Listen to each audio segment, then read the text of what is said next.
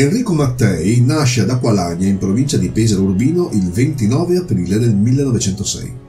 Il padre Antonio era un brigadiere dei carabinieri che si diceva avesse avuto il merito di arrestare il brigante Musolino. In realtà lui era solo il comandante di quei due carabinieri che solo casualmente lo catturarono nell'ottobre del 901 e fu un evento assolutamente fortuito. Musolino aveva visto i carabinieri ed era fuggito anche se questi non lo avevano riconosciuto. Inciampa su un fil di ferro, viene raggiunto dai carabinieri che lo fermano chiedendogli perché scappasse e solo dopo verrà riconosciuto. Una, una cattura comunque avvenuta dopo lunghissime indagini e molta pazienza.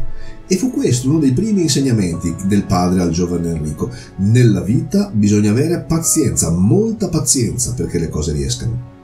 La madre si chiama Angela Galvani ed è figlia di un importante costruttore edile caduto in disgrazia. L'abbassamento del livello sociale della famiglia aveva fatto sì che lei non fosse riuscita a sposare il rampollo di una della, delle, per poche famiglie ricche della zona ma si fosse dovuta quindi accontentare di un modesto carabiniere che tra l'altro non aveva neppure tanta ambizione di migliorare la sua vita accettando posti in città più grandi di Acqualagna. Matrimonio frustrante quindi per lei. Per combattere questa sua frustrazione si butta in opere caritatevoli portate a dare una mano a chiunque ne avesse necessità.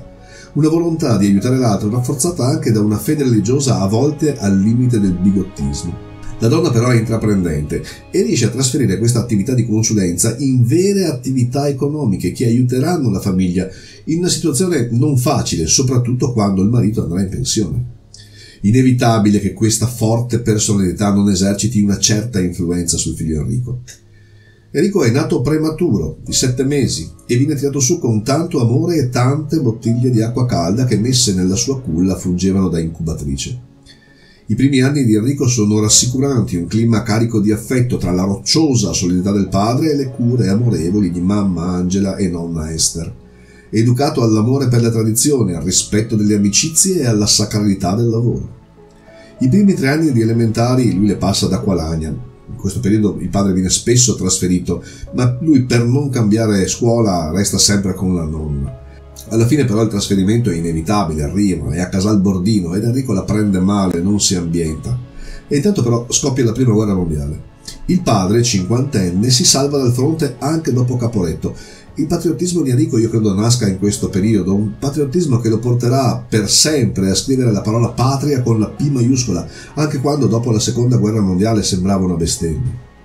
Nel 1914 e nel 1919 arrivano due fratelli con i quali però Enrico non legherà, legherà poco, io credo a causa della differenza di età. Legherà poco, ma è molto affezionato e lo vedremo più avanti quando proprio all'interno della famiglia sceglierà i suoi più stretti collaboratori. Nel 1919 il padre va in pensione, ci va appena possibile perché vuole intraprendere nuove attività per aiutare la famiglia, una serie di progetti che lui ha in testa ma che non andranno mai a buon fine. Si trasferisce con la famiglia Amatelica e si troverà ad abitare in una casa a fianco a quella della famiglia Boldrini, una famiglia agiata di artisti, di intellettuali. Però i soldi sono sempre pochi. Il padre manda il figlio Enrico a studiare a Vasto, ma per mantenerlo deve rimettersi a lavorare come guardia caccia. Enrico è un ragazzo intelligente ma demotivato. È il classico ragazzo intelligente che non si applica è uno stato che lo porterà spesso ad essere insoddisfatto, refrattario ad ogni regola e imposizione. Non studia, marina spesso la scuola e il suo rendimento risulta essere sempre molto basso. L'unica attività nella quale eccelle è la pesca, una passione che lo accompagnerà poi per tutta la vita. In estate Enrico torna sempre ad Aqualagna da nonna Esther. Alla fine il padre decide di ritirarlo da scuola, non rende, e sprecare soldi inutilmente era una follia date le difficili condizioni nella quale la famiglia già versava, e lo fa andare a lavorare, Federico fa un po' di tutto. Anche lì però all'inizio combina solo pasticci, i datori di lavoro spesso si lamentano di lui. Il padre era in effetti convinto che su quel ragazzo non si potesse contare, aveva una totale mancanza di ambizione. E quindi chiede aiuto ad un amico, Cesare Scuratti, che aveva messo in piedi una fabbrica di letti di metallo, una novità per l'epoca. Enrico inizia a lavorare come operaio e le cose vanno un po' meglio, però il lavoro è duro. Ed Enrico capisce subito che se vuole far carriera deve uscire di lì e per farlo deve rimettersi a studiare. Oltre a questo realizza che se vuole migliorare la sua condizione deve pensare di andare via da un paesino così piccolo. Decide così, con l'amico e collega Gaetano Fabiani, di organizzare una specie di fuga a Roma, una fuga estiva. Una fuga nel senso che partono proprio con i pochi soldi che hanno in tasca senza dire niente a nessuno. E scoprono molto rapidamente che la vita a Roma è molto difficile. Dormono in squallide camere d'albergo che hanno il solo pregio di costare poco. Cercano persino di lavorare alla Metro Goldwyn Mayer come attori giovani. Ci mette poco l'entusiasmo a trasformarsi in delusione. La fuga a breve durata e termina quando finiscono i soldi che si hanno portati dietro. Vengono persino fermati dai carabinieri per vagabondaggio e a questo punto vengono recuperati dal padre di Enrico. Dobbiamo attendere il 1922 per vedere il ragazzo sistemato di nuovo. Ha trovato un lavoro stabile alle concerie Fabretti. Entra come impiegato, pagato poco, eh, ma almeno si trova in una grande azienda di 150 operai. Ci sta bene. Diventa tra l'altro amico di Antonio Fiore, che è il figlio di Giovanni, il titolare. E nel 1926 ecco la svolta. Si libera un posto da direttore tecnico e Giovanni Fiore decide di dare ad Enrico proprio quel posto. Lui è un ragazzo giovane di 20 anni, praticamente senza nessuna preparazione scolastica, ma la sua carriera in effetti è spettacolare. Assunto come fattorino a 16 anni, era passato a operaio alla purga delle pelli a 17, poi tecnico e addetto alla segreteria a 18, vice direttore di laboratorio a 19 e infine a 20 direttore. In questi anni inoltre matura, impara ad assumersi le sue responsabilità e tra l'altro arrivano i soldi che lui usa immediatamente per aiutare la famiglia. Si prende la patente e arriva a guidare l'auto della ditta. Non male per un ragazzo che ha poco più della terza media. L'anno dopo parte per il servizio militare ed è riuscito a rinviare quell'appuntamento per due anni, ma adesso non ci si poteva fare più nulla, non si poteva rimandare ancora, e viene mandato ad Orvieto, nel reggimento dei granatieri di Sardegna, come soldato semplice. Del resto, niente titolo di studio, niente scuola ufficiali. E per lui è un ritorno ai tempi bui, la prende male. Essere il direttore di una fabbrica importante è diverso da essere un boccia di una caserma, ma deve solo portare un po' di pazienza perché alla fine la sua leva durerà solo sei mesi. Mattei è di fatto il classico paraculato. Giovanni Fiore smuove tutte le sue conoscenze e riesce a farlo tornare in fabbrica. Torna e diventa pure direttore dell'intero stabilimento e il suo tenore di vita migliora ancora. Se la gode, insomma, e fa bene perché dagli Stati Uniti sta arrivando il più terribile cataclisma economico del Novecento, la grande crisi del 1929. Una crisi che colpirà prima le piccole e medie imprese e all'inizio del 29 la conceria Fabretti chiude. Mattei si trasferisce a Milano, che in quel momento è la città con maggiormente proiettata verso il futuro. Ha da parte un discreto gruzzolo di 20.000 lire, che è una bella sommetta per l'epoca e che gli permette di non avere fretta. Viene assunto alla Max Meyer, una ditta tedesca di smalti e solventi per concerie, ed Enrico si trova a dover ripartire dal basso. Però è evidentemente bravo e gli affari gli vanno bene. A Milano rincontra Marcello Boldrini, con la quale imbastisce una bella amicizia. Alla fine degli anni 30 Enrico comincerà a pensare che il fascismo che tanto all'inizio lo aveva affascinato fosse fondamentalmente ingiusto e sbagliato. Insomma una giravolta di 180 gradi dovuta proprio alla fragmentazione di Boldrini che nelle molte serate passate assieme lo aveva riindottrinato portandolo verso le più miti posizioni del cattolicesimo democratico e cristiano sociale così forti tra l'altro nella Lombardia di quegli anni. Assieme sogliano un'Italia impegnata in un grande sforzo di sviluppo economico alimentato non dal grande capitale, ma dall'iniziativa di piccoli nuclei produttivi. Nuclei produttivi che però necessitano di un controllo economico da parte dello Stato perché gli automatismi nel mercato producono spesso troppe ingiustizie. L'impresa pubblica deve quindi avere un ruolo centrale, centrale preminente idee che verranno sviluppate poi nel 1943 alla vigilia della caduta del fascismo ed elaborate nel cosiddetto Codice di Camaldoli, ispirato da uomini come Dossetti, La Pira, Vanoni. Dicevamo che Mattei è bravo e di conseguenza riceve molte offerte di lavoro, tra le quali quelle della Lowenthal, che gli offre la rappresentanza generale per l'Italia. Enorme balzo avanti per lui e guadagna bene, 1500 lire al mese più i rimborsi spesa, vari premi di produzione, ma la cosa più interessante è che inizia a conoscere dirigenti e industriali di tutta Italia. Nel 1932 ecco il grande salto, decide di mettersi in proprio, ma per il momento senza lasciare la Lowenthal. Ha 24 anni, ama le sfide, Fonda quindi un'azienda di produzione di sostanze per l'industria conciaria, che lui tra l'altro conosce molto bene, e intanto si prende la, la rappresentanza in Italia per molte altre industrie straniere. Basta aspettare poco, poco tempo, per vedere cadere anche l'ultima barriera mentale. Mattei si dimette da Lowenthal e si trasferisce, e trasferisce la sua residenza a Milano. Investe tutto nella sua nuova azienda, si fa persino prestare dei soldi da alcuni parenti Anche grazie a prodotti innovativi molto apprezzati, la sua azienda fa il botto il fatturato cresce da 296 mila lire nel 34 a 2 milioni 640 mila lire nel 38. Insomma, Mattei è diventato ricco. E quindi si rimette a studiare ragioneria. Non è un secchione, eh? preferisce uscire a cena con belle ragazze piuttosto che studiare. Frequenta teatri, night, gli piace farsi vedere in giro con belle ragazze internazionali. Quella che preferisce è Margherita Maria Paulas, detta Greta viennese, molto bella, bionda, occhi azzurri, alta. Enrico se ne innamora e i due decidono di sposarsi. Guardate, i due sono realmente molto innamorati. Solo che Enrico ha un vero e proprio problema con la fedeltà. Non reprimerà mai la sua natura da donnaiolo. Le scappatelle extraconiugali erano per lui dei peccatucci veniali. Da quel matrimonio non arriveranno mai figli e questo, devo dire, sarà il più grande cruccio per Mattei. Forse per questa ragione non riuscirà mai ad accumulare denaro. Per lasciarlo a chi? diceva. A Mattei forse il fascismo non piace, lo dicevamo prima, ma gli dà abbastanza credito, nel senso che per un imprenditore come lui andare d'accordo con il potere è vantaggioso. Il fascicolo della polizia politica nei suoi, nei suoi confronti è lusinghiero. È un buon fascista. Addirittura sembra essere un buon fascista e addirittura un buon squadrista. Ma ci crede Mattei al fascismo? Io credo di no ma in quel periodo se volevi fare affari dovevi essere fascista. Le persone di mentalità integerrima, anche all'epoca, erano evidentemente pochine. Senza considerare che la campagna in Abissinia aveva fatto intravedere possibilità di nuovi e interessanti affari. Sì, però non in Africa, no, no. La campagna voluta da Mussolini aveva portato molte sanzioni contro il nostro paese. Sanzioni che avevano spinto l'Italia verso l'autarchia, e le industrie italiane iniziano a cercare nuove fonti di approvvigionamento. E Mattei ci prova, ci prova nel, corpo, nel corno d'Africa, ma non gli andrà bene. Poco male, perché alla fine le sanzioni si aggirano e le materie prime non verranno in realtà mai a mancare in questa fase. Po' come oggi. Sanzioni alla Russia per non comprare il gas, noi lo compriamo da altri paesi che lo comprano dalla Russia. Lo paghi il doppio, ma lo trovi facilmente. E gli affari per Mattei decollano. Alla fine degli anni 30 Mattei è titolare di una solidissima industria chimica e cambia pure casa.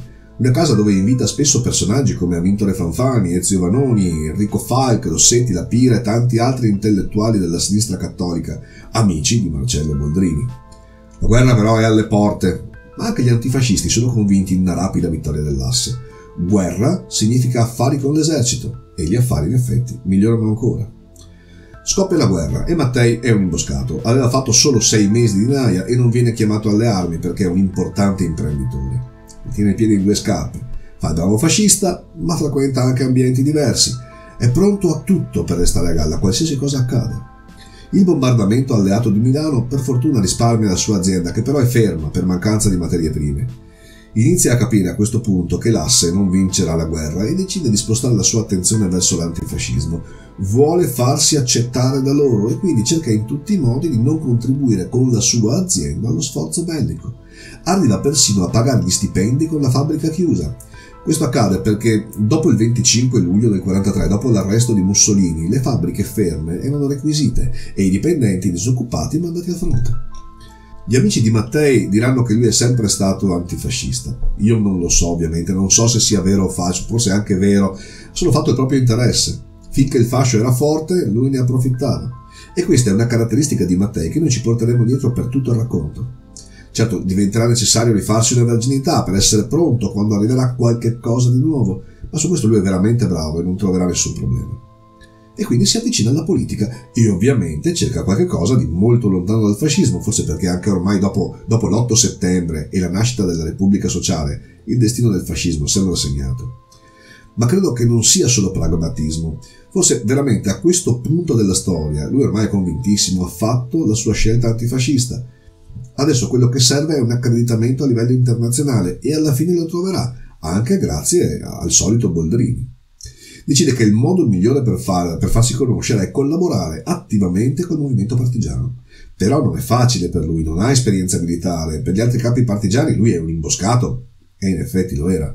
Però ha anche tante conoscenze e alla fine riesce a guadagnare la fiducia dei compagni. Inizia quindi la sua battaglia clandestina. Sceglie persino tre nomi di battaglia: Este, Leone e Monti. Si impegna sul serio e tanto da rischiare l'arresto varie volte.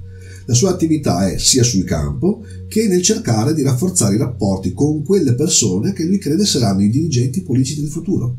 Gente come Augusto De Gasperi, fratello di Alcide, Giuseppe Spataro, Enrico Falk, Dossetti, Fanfani, li abbiamo nominati anche prima, iniziano a progettare il futuro.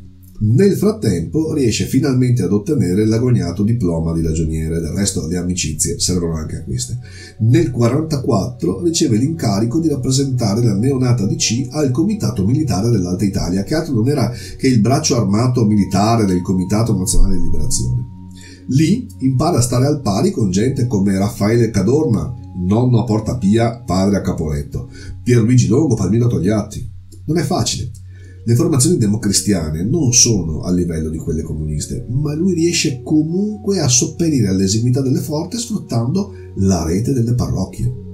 Ma sì, pensateci, all'epoca i parroci erano punti di riferimento dell'opinione pubblica. Mattei capisce che è il rapporto dal basso che può confrontarsi con la guerrita macchina militare del Partito Comunista. Ma c'è una cosa nella quale Mattei è bravissimo, raccogliere denaro raccogliere denaro per finanziare in questo caso la lotta clandestina. Comincia a lavorare per la resistenza contattando imprenditori, parroci, madri superiore, padri priori, abati, più propensi ad ascoltare un moderato come lui che un comunista. Ed è così bravo con i soldi che lo incaricano di gestire il denaro raccolto per la resistenza, della quale di fatto diventa il tesoriere. Alla fine del 1944 viene nominato vice capo di Stato Maggiore addetto all'intendenza ne è felice perché capisce immediatamente che questi compiti possono dargli grande potere e influenza sull'attività di comando. Viene anche arrestato, Mattei è una soffiata anonima, aveva fatto scoprire la sede del gruppo dirigente della DC per l'Alta Italia proprio finché era in corso una riunione. I repubblichini riservavano ai capi antifascisti catturati un trattamento molto duro. Del resto era guerra, eh, guerra vera, i partigiani compivano azioni contro i fascisti e i nazisti e questi si comportavano di conseguenza. Nulla che ci debba stupire. Sembra che anche Mattei, dopo questo arresto, abbia ordinato di uccidere un poliziotto, anche se il fatto che sia stato lui il mandante non, avrà, non verrà mai completamente dimostrato. Però devo dire che è abbastanza rivelatrice la reticenza con la quale Mattei risponderà alle domande che gli verranno fatte durante il processo del dopoguerra proprio su questo particolare episodio. Noi parlavamo dell'arresto. Per fortuna i suoi compagni riescono a farlo evadere, del resto era prassi comune quella di cercare di liberare i capi dell'organizzazione arrestati. Troppo pericoloso farli restare a lungo nelle mani di fascisti e nazisti. Quindi è libero e decide però di passare il confine, andare in Svizzera, meglio far calmare un attimo le acque prima di rientrare a Milano. Il sistema di reclutamento nelle fine della resistenza messo in atto da Matteo funziona. Alla fine della guerra i gruppi democristiani, le brigate del popolo, possono addirittura competere con quelle comuniste. E questo accresce il suo prestigio. Gestisce bene il denaro e riesce anche ad organizzare le persone. Il riassunto del lavoro di Mattei di questi anni credo sia rappresentato da un fatto. La guerra è finita, Mussolini è morto. 5 maggio 1945 le formazioni partigiane sfilano a Milano. In testa a questa fila ci sono i sei capi vittoriosi. Uno di questi è Enrico Mattei. Al petto la Bronze Star conferitagli dal generale americano Mark Wayne Clark. La guerra per Mattei adesso è davvero finita. Ne esce, come tutti credo, con luci ed ombre. Tante luci, certamente, ma anche con qualche ombra, come quella legata alla storia dell'oro di Mussolini. Tesoro ufficialmente consegnato alla Banca d'Italia, ma vicenda mai del tutto chiarita, dato che una parte di questo tesoro sembrava sparita nel nulla. Mattei, chiamato a testimoniare sulla vicenda, se la caverà dicendo che lui era responsabile dei denari raccolti dal 4 dicembre del 44 e di quel tesoro gli erano pervenuti 160 sterline e 100 milioni, tutti regolarmente registrati. Del resto non sapeva nulla. Una storia della quale voleva liberarsi in fretta anche perché per lui era venuto il momento di buttarsi seriamente in politica. Ma questo lo vedremo nella prossima parte. Ciao a tutti.